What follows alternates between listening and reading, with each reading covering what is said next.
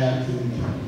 Köszönjük, hogy te szerezted nekünk ezt a szép, napfényes napot, meghallgattad ima kérésünket.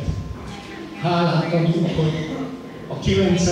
Roma konferencián is együtt lehetünk az Úr Jézus nevében. Rád van szüksége a életünknek. Töltsél Szent Szellemeddel, Szent. Jó erőmenetet, vágyja lelkünk a tisztulást, a felszabadulást, hisz méltó vagy, hogy dicsőítsünk, magasztaljunk téged, adj jó előmenetet minden szolgálatban, menj atyám, kép, hallgass meg minket, fiat az Úr Jézus áldott nevében.